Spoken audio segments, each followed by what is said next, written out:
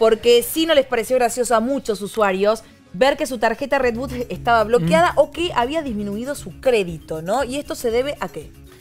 Esto se debe a una aplicación falsa que viene circulando en los últimos días y muchas personas cargaron hasta a través de esta aplicación y a partir de las últimas horas el gobierno se dio cuenta de lo que estaba sucediendo.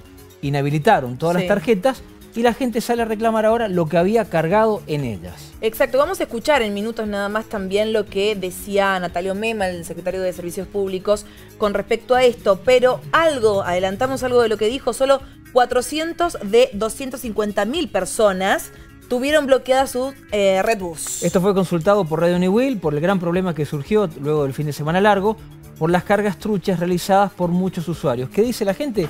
Que cargó la tarjeta en el lugar habitual donde lo venían realizando. Bueno, vamos a escuchar entonces a distintos usuarios los que nos decían sobre su tarjeta. Está bloqueada una tarjeta que me dieron acá la semana pasada.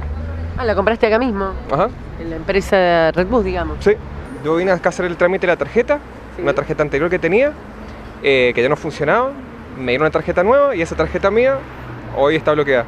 El día viernes viene mi hija, me dice que le han bloqueado la tarjeta y mi hijo el día sábado. Hoy viajo para hacer unos estudios míos, para autorizar unas órdenes y encuentro mi tarjeta bloqueada. Vengo con las tarjetas de Redwood. Redwood me dice que he estado cargando desde el mes de mayo las tarjetas en lugares truchos. El sábado voy a subir al colectivo con mi abono personal y no estaba bloqueada la tarjeta. Así que nos bajan del colectivo, hay que pagar otro pasaje. ¿Dónde cargó su tarjeta del abono? En la línea del 5. ¿No tiene idea qué puede haber pasado? No sé, dicen que mm, nosotros somos los estafadores. Yo el día viernes a la noche me encuentro con que el abono lo tengo, la tarjeta la tengo bloqueada.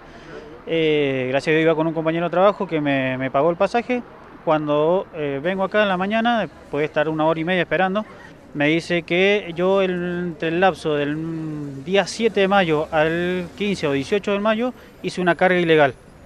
Eh, me bloquearon dos tarjetas, el abono y, una, y otra tarjeta común.